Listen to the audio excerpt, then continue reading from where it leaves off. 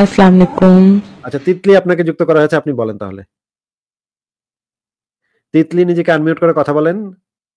Unmute করে কথা বলেন। দেখেন মাইক্রোফোন বাটন আছে। হ্যাঁ, বলেন এবার। আসিফ ভাই শুভ সন্ধ্যা। ভালো আছেন আসিফ ভাই? হ্যাঁ, ভালো আছি। আশা করি আপনিও ভালো। বলেন তাহলে।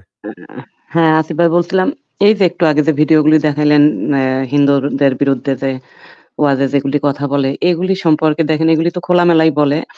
তো এগুলি আমাদের বাংলাদেশের সরকার এগুলির বিরুদ্ধে কোনো রকম তারা এই কর্ণপাত করে না।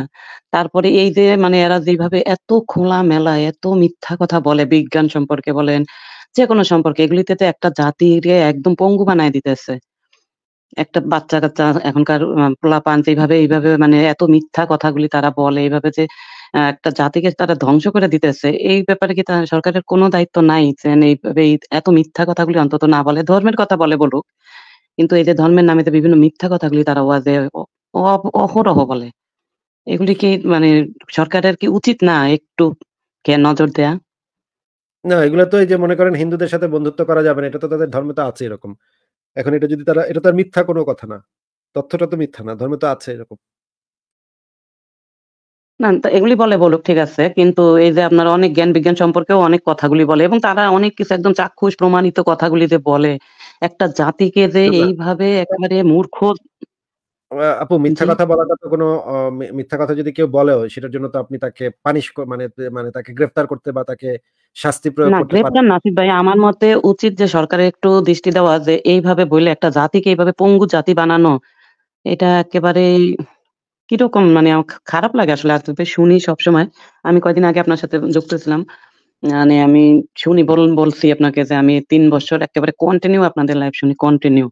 একটাও আমি বাদ দিই না। কিন্তু যা শুনি আপনাদের এখান থেকে, আমি হলো হিন্দু ব্যাকগ্রাউন্ড থেকে। যদিও এক মানে আপনাদের এখান থেকে শোনার পরে ধর্মের প্রতি বিশ্বাস জিনিসটা মানে একেবারে চুরমার হয়ে গেছে। এটা আমার ভিতরে আসলে আমি আমার নিজের থেকে আমি যেটা মানে ফিল করি যে মানুষের মনে যদি প্রথম থেকে একটু সন্দেহ থাকে, সেই জায়গায় যদি কেউ ওইটা ক্লিয়ার করে, এরপরে আর ধর্মের প্রতি বিশ্বাস মানুষের থাকে না। তারপরও এখানে আমি যেই সব প্রশ্ন-টশ্ন শুনি মানুষের আমার অবাক লাগে। তারা এত প্রশ্ন কি করে আসে? এত মানে সামান্য সূক্ষ্ম, সূক্ষ্ম বিষয় অথচ তারা বাস্তবে কিন্তু এত মানে খোটাইয়া কোনো কিছুই দেখে না। আমি আপনার এই যে আপনাদের লাইভে আমি প্রথম শুনছি আপনি হিন্দু ধর্মে যে এই যে জাতি বর্ণভেদ যেটা, ওইটা যেদিন আমি আপনাদের থেকে প্রথম শুনলাম, আমরা তো যখন পড়ছি গীতা-টিতা পড়ছি তখন তো ভালোই লাগছে। হ্যাঁ, কত সুন্দর কথা আসলেই। কিন্তু যেদিন আমি আপ আপনার এখান থেকে শুনলাম কথাটা, আমার মানে ব্রেনে আঘাত লাগছে। কথা তো একেবারে 100% সত্যি কথা। ঠিকই তো। মানুষের মধ্যে কেন ভেদাভেদ করবে? আর সে যদি ঈশ্বরই হয়ে থাকে সে কেন এরকম ভেদাভেদ সৃষ্টি করে বানাবে? আমি মনে করেন আমরা যেইসব জিনিসগুলি নর্মালি মানে এই যে ইসলাম ধর্মের অনেকে আসে বলে, কথা ঠিক আছে। প্রথমে এগুলি মনে খারাপভাবে আসে না। কিন্তু মানুষের মধ্যে আপনাদের এখানে অনেক শিক্ষিত মানুষ আসে। তারা ওই যে একটা লোক আসে ডাক্তার, একটা ছেলে ওই যে সেদিনকার অনেকদিন আগে ধরছিলেন যে বাল্য বিবাহ সম্পর্কে। তার কথাবার্তা শুনে আসিফ ভাই আমি অবাক যে এ কি করে একজন ডাক্তার হতে পারে? একজন ডাক্তারের মা চিন্তা ভাবনা কি করে বিজ্ঞানের বাইরে এইভাবে হতে পারে?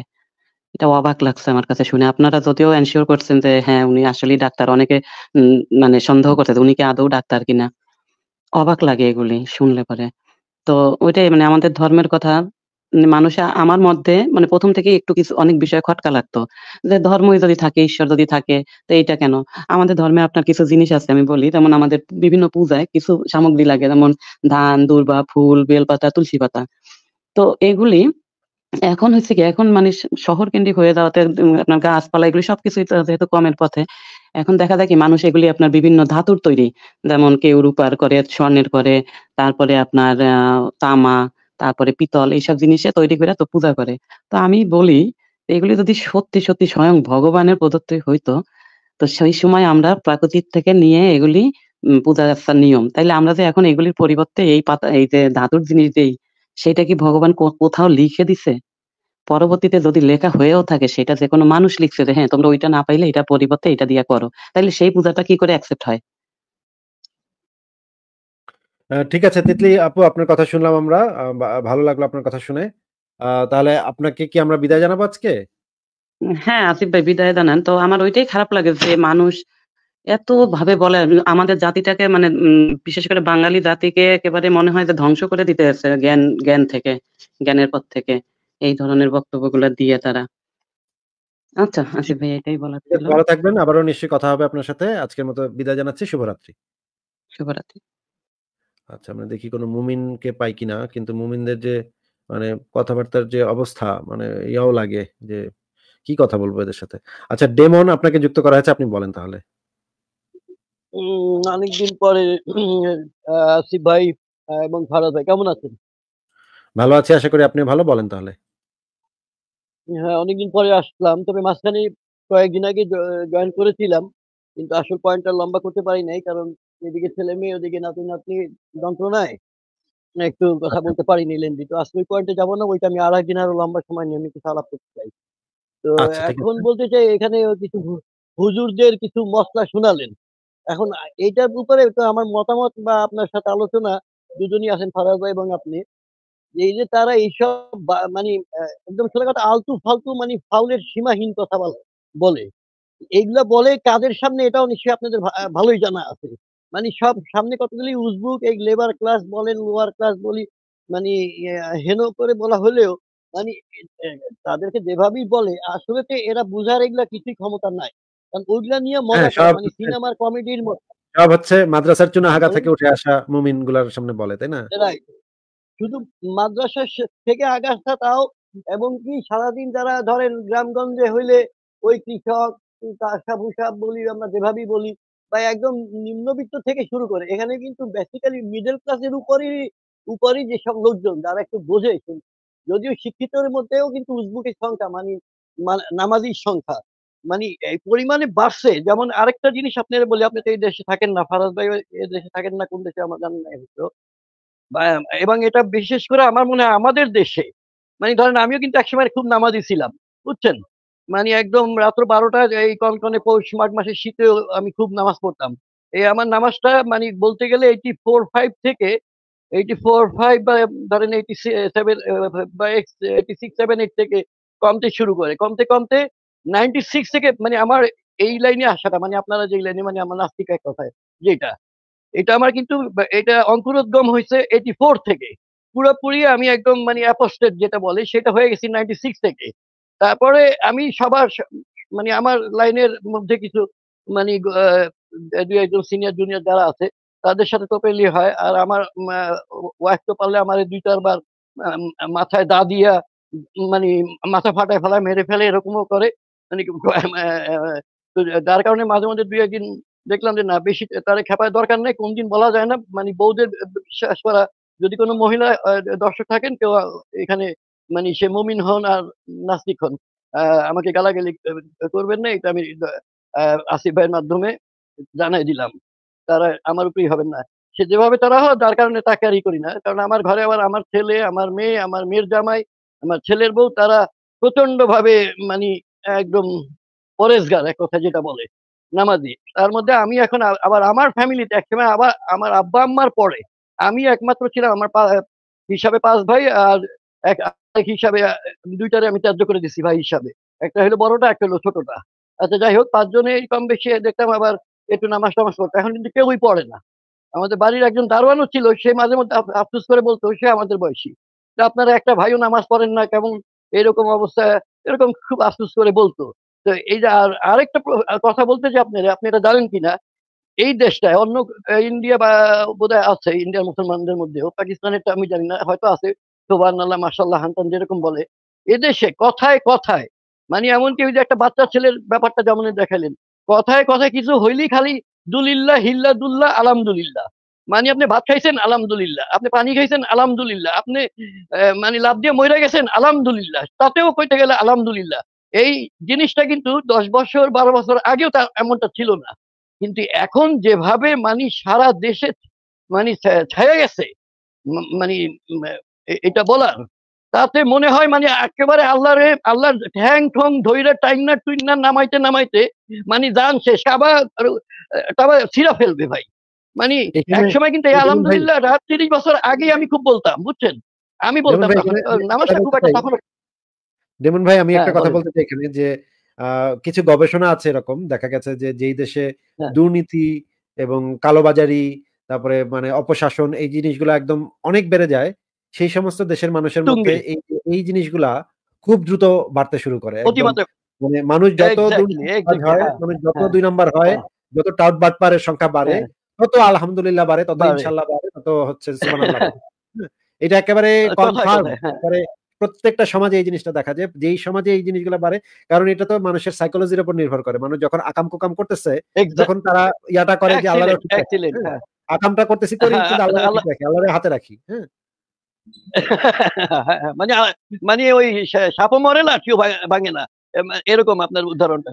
থ্যাংক ইউ তো আমাদের অবস্থাটা সেটাই দাঁড়াইতেছে। তো আমি এখন যা আমার মনে হইতেছে, যেমন ধরেন এই যে আজকে প্যালেস্টাইন, ইসরায়েল যে অবস্থা, তো আমরা তো মুসলমান মার খাইতেছি। কই, মুসলমান তো আল্লাহ তো নাকি এত এই দুই তিনটা মানে মোল্লাদের ই দেখাইলেন। এত ডায়লগ বলে।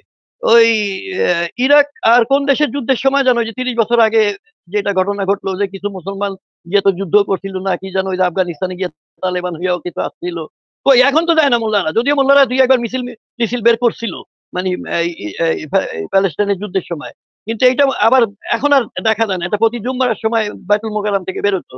কিন্তু এটাও আবার বন্ধ করার পিছনে ঘটনা আছে, সেটা নিশ্চয়ই আপনি আন্দাজ করতে পারতেছেন। কার ইশারায় মানে দমনে আঙ্গুলের ইশারা এটা বন্ধ করে দিচ্ছে কারণ একদিকে এটা শুরু হইলে আবার আরেকদিকে সমস্যা হইতে পারে। অন্যজনেরা উস্কানি অন্যদিকে উস্কানি টেনে নিয়ে যাওয়ার সুযোগ পাইতে পারে। আচ্ছা আমি এখানে শেষমেশ একটা জিনিস মনে করি। এই শেষ আলহামদুলিল্লাহর এত ঠেলাতে যে পুরা মানে একটা সাধারণত একটা কথা আছে আমাদের জন্মের পর থেকে বলতে গেলে শুনে আসছি যখন থেকে মানে একটা বাচ্চাও শিখতে শুরু করে। ওই যে পিপিলিকা ওরে মরিবার তোর, একটা কথা আছে না ভাই? কমন কথা। হ্যাঁ হ্যাঁ হ্যাঁ হ্যাঁ বলেন তো এখন আমাদের ধর্মটার অবস্থা আমি যা দেখতেছি যে মানে এত পরিমাণ যেমন এই দেখ আরেকটা জিনিস হিজাব। এই জিনিসটাও দশ থেকে বারো বছরের এর আগে আমার মনে হয় না এখন যে অবস্থা দাঁড়াইছে তার চার ভাগের এক ভাগও দাঁড়ায়নি। যেমন আমার মেয়ে মেট্রিক পাস করল বোধ হয় দুই হাজার আটে আমার ঠিক এই মুহূর্তে খেয়াল আমার মেয়ের বয়স কত? বত্রিশ হয়ে তেত্রিশ চলতেছে। মানে ধরেন অর্ধেক টাইম তার মানে বারো বছর আহ, ষোলো বছর আগের কথা। তো ওকে যখন স্কুল থেকে নিয়ে আসতাম, তখন থেকে আমার মনে পড়ে, তো আমার মেয়ে একদিন বলতেছে আগে এত মানে কি কথা মাঝে মধ্যে রিক্সা কথা হইতো? তো, অনেক ধরনের বাপ মেয়েদের মধ্যে কথা হয়। যে মানে তখনই কিন্তু বাড়া শুরু হয়। আর সেই বাড়তে বাড়তে এখন ঘরে ঘরে এমন ঢোকা ঢুকছে, আর যেটা আমি এত বেশি ইয়ে করতাম, এখন আমি এই আমার ছেলের পাঁচ, ছয় বছর আগে বিয়ে করালাম। এখন শেষমেশে আমার ছেলের বউ দেখি হিজাব। আমি প্রথম প্রথম শ্বশুর হয়েই আমি যেহেতু এটা একদম মানে মানে এটা কি বলে এটারে? মানে মন থেকে না, কলিজা থেকে না কি দিয়ে বলব? মানে একদম মানে আমার দু চোখের বিষ এক কথায় হিজাবটা। এখন দেখি আমার ঘরেই সেটা ঢুকছে ভাই। এখন আমি আমি দুই দিন বলছি, এখন শ্বশুর হয়ে, এখন ওই যে দজ্জাল মার্কা শ্বশুর বা শাশুড়ি হইলে বলা যায়। অথচ কিন্তু আরেকটা বলি, আমার শাশুড়ি তার বয়স এখন বাষট্টি বছর, বা তেষট্টিতে পড়ছে বোধ হয় হ্যাঁ তেষট্টিতে পড়ছে এরকমই। তো সে সারা জীবন চাকরি করছে, বাংলাদেশের একটা স্বনামধন্য দুর্নাম বদনামের একমাত্র একটা প্রতিষ্ঠানই চাকরি করছে, নামি দামি প্রতিষ্ঠানে। যাই হোক সম্ভব হলে আপনার পার্সোনালি কথা হলে জানান দিতে পারে। আচ্ছা তো সে কিন্তু মানে বলতে গেলে তার চুল এমনিতেই অনেক মেয়ের চুল আছে না, খুব বেশি লম্বা হয় না। যেটুকুই হয়তো তা একটা সময় দেখলাম, ধরেন তাও আজ থেকে প্রায় আমার বিয়ে তো হয়েছে কত, সাতত্রিশ বছর চলে। তো সে মোটামুটি বফ কাট করে। তা আমি তখন পছন্দ করতাম না। তো মানে দুই চার মাস পর পরই পার্লারে গিয়ে বয় কাট টাইপের করে আসে। তো বয়কাট করলে সেটা আবার একটু বফ বফ কাট হলে মানে একটু লম্বা হইতে দুই চার মাস লাগে, ওই কদিন আরাম থাকে। কি জন্য করে? তার প্রেশারে ঘাড় গরম হয়ে গেলে তার নাকি প্রেশারে সমস্যা হয়। আর কিছু হইলেই মানে হুট হাট চিল্লা পাল্লা করবে, তখন তার এক ঝাড়ি মানে আমার চাতা বানায়, এটা সেটা মেজাজ খারাপ হয়ে যায় খুন করে ফেলব হান্তান তো এখন ওদিকে শাশুড়ি বককাঠ নিয়ে এসে বেরোইতেছে মনে করেন বউর সাথে বেরোইতেছে ছেলের বউ হিজাব পইরা বাইর হয়। কারণ আমার ছেলে ওনাকে পছন্দ করে দুই দিন আগে জানতে পারলাম আমার শালির কাছ থেকে। আর যে খুব নামাজ। পয়েন্ট আমরা বুঝতে পেরেছি আপনার যে পয়েন্ট সেটা হচ্ছে বাংলাদেশে এখন এগুলা বেড়ে যাচ্ছে যে জিনিসটা আমরা মানে ভাইরাস আমি বলব এটাকে ভাইরাস মানে ওই যে মোল্লাদের কথা বল হ্যাঁ হ্যাঁ হ্যাঁ বলেন। খুবই ভয়ঙ্কর অবস্থায় জিনিসটা আমরাও জানি। আপনার হ্যাঁ, কি আর কোনো হ্যাঁ। আলোচনা আছে? তা নাহলে আমরা একটু মুমিনদেরকে একটু যুক্ত করি। মুমিনদেরকে যুক্ত করলে আমাদের আলোচনাটা আর কি আর একটু ভালো হয়। না তবে এটাই আপনার জন্য অবশ্যই আমি দেখি প্রায় বলেন এখানে একটু আমার তখন একটু আপনি এটা মাইন্ড করার ব্যাপার না। মানে মুমেন্টের খুঁজে পাইতে আপনার বসছি ফেলতে হয়। মানে তারা ভয়ে আসেন আপনার কাছে এটা বুঝেন আপনি। এটা তো নিশ্চয়ই বুঝেন। হ্যাঁ, মানে তারা হ্যাঁ। এইটা মনে করে তারা এইটা মনে করে মানে আসিফের কাছে আসিফ মিয়ার কাছে যাওয়া মানে বাঘের মুখে যাওয়া। এটা এটা তো আপনি বুঝেন। বলেন না কেন? বলেন না হ্যাঁ হ্যাঁ। খোদ শয়তানের কাছে যাওয়া। আসলে তো শয়তান কথা বলতে চায় না ভাই আমি কি বলব বলেন? আসিফ ভাইয়ের সাথে কথা বলতে চাই আসলে। আমি আর না না মানে এটা আমারে বললেন আপনি? না না আমি তো না, ভাই না, আপনারও লাইক না, করি। আপনি না, না, আপনাকে না, না, না, বলা- না, বলা না। মুমিনদের কথা বলতেছি। না, না। যে যে- মুমিনরা আসে তখন তো বলে যে আমি শুধু আসিফ ভাইয়ের সাথে কথা বলতে চাই। তো কথা বলতে চাচ্ছে। মানে মনে করেন একদিকে শয়তান একদিকে শয়তান হ্যাঁ। আরেকদিকে দজ্জাল। হ্যাঁ মানে তাদের কাছে তো আমরা ভাই যে- মানে ইয়া মানে এক কথা ইবলিশ বা যাই হোক যেটাই হোক আর কি। দেখি আসল আসল ইবলিশ যে ওরা সেটা তো তারা বোঝে না। মানে এটা তো আরেকটা জানো কি জানো ওই সকেটেজের একটা ডায়লগ ছিল যে মানে যারা বেকুব ওই যে আমাদের ইন্টারমিডিয়েটে মনে হয় সাবজেক্টটা ছিল। সকেটেজ তো কলেজে ছিল না আহ, আমরা নাইন টেনে পড়ছি। যে সক্রেটিসের একটা ডায়লগ ছিল না যে তারা জানে না যে তারা জানে না। তো এই কথাটা মোল্লারা কেমনে বুঝাইবে? কোন আর কারণ এই যে মাদ্রাসা মাদ্রাসা আবার এইমাত্র শুনলাম যে আমেরিকায় মক্তব মাদ্রাসাও চালু হয়ে গেছে। তো এইখানে একটা বোঝা উচিত যে হোয়াট ইজ আমেরিকা মানে হাউ দ্যাটস এ কান্ট্রি যে লিবারেল নিউট্রাল মানে ওপেন মাইন্ডেড ফর অল কারণ আমি আমি যদিও আমেরিকা সতেরো, আঠারো বার আমার যাওয়া আসা হয়েছে থাকা হয় নাই যে কোনো কারণে। আসছি গেছি, থেকে গেলে হয়তো যাই হইতাম হয়তো। হয়তো একদিন খ্রিস্টান হয়ে যেতাম বা একদিন আমি সিনেগেও গেছিলাম। মানে ভালো লাগল, তারপরে ওরা ওইখানে ধর্ম প্রচার করে না? হঠাৎ দেখে একজন ধর্ম প্রচার করতেছে পরে বুঝলাম এ, সে জিউস। তো আমি সে আমারে কিছু কি বুঝাইলো বোঝার পর একটা লিফলেট দিল হাতে। তাই আমি বললাম how much you pay me if I convert এটা মনে হয়- জিহোবাস উইটনেস আপনি যাদের কথা বলছেন তারা বোধহয় হ্যাঁ জিহোবাস ওদের সে তো আহ, আহ, ইহুদিরা সাধারণত ধর্ম প্রচার করে না ইহুদিরা সাধারণত ধর্ম প্রচার করে না এটা তাদের ইসের ভিতরে ধর্ম প্রচার আসলে তাদের খুব একটা মানে ইয়া না বিষয়টা। যাই হোক ঠিক আছে উনি চলে গেছেন। ফারাজ ভাই